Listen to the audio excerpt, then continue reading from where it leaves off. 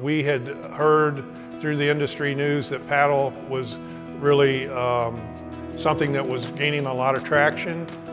We knew the North Shore Country Clubs here in Chicago had had uh, pretty long-term uh, paddle programs and we were one of the first programs in the suburbs, the western suburbs, to put in paddle courts. Hi, my name's Scott Azinger. I'm the general manager at Butterfield Country Club here in Oak Brook, Illinois. We started our paddle uh, facility back in 2014. Um, we have four paddle courts uh, and a lodge here that we uh, do a lot of different activities out of.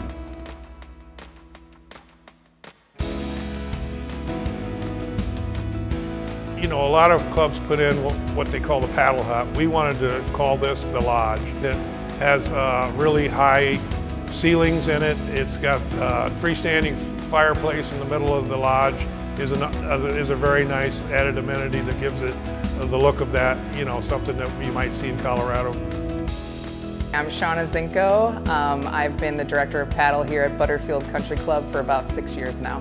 They originally had one women's team and I was lucky enough to help. I wasn't the head pro at the time, but I was lucky enough to help and then when the spot opened up, I felt a little bit of ownership with the program here. So I asked if I could be in and um, now we have about five or six ladies teams. We have about uh, five to eight men's teams on any given year and the program is just booming.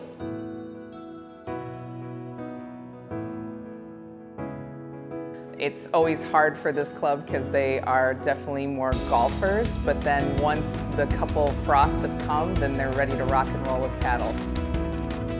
I think it does a great job of bringing everyone together. I think that we do a ton of great events so people have the opportunity to come here during the week and play with their teams, but also come on the weekends and play with friends, with their spouse or partner. Um, and it just provides a nice casual environment for everybody to come together, have fun, and get a workout in. It's been a great thing for the club. It's just, it, we became a 12-month uh, member you know, club where, where before when I got here, we were only open nine months of the year. I'm Shauna Zinko, and this is the APTA Hut of the Month.